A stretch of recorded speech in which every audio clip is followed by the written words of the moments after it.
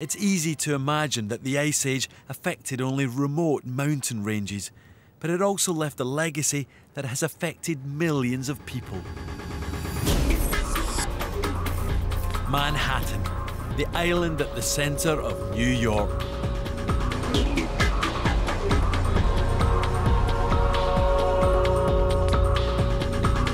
When you look at it from a distance, it's actually got a very distinctive profile.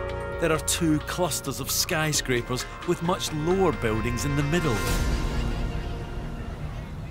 This is a direct result of the Ice Age.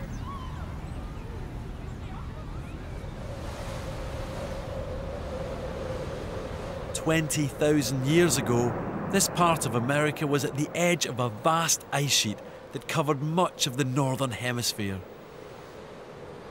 The ice would have towered over any modern skyscrapers. When it retreated, just as in Yosemite, the ice left behind these boulders and rock smoothed and polished by ice.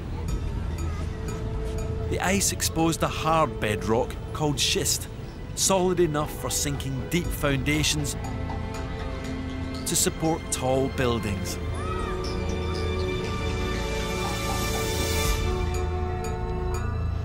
Without this schist, New York couldn't have been built so high.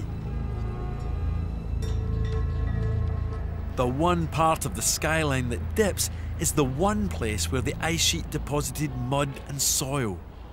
No good for building towering skyscrapers.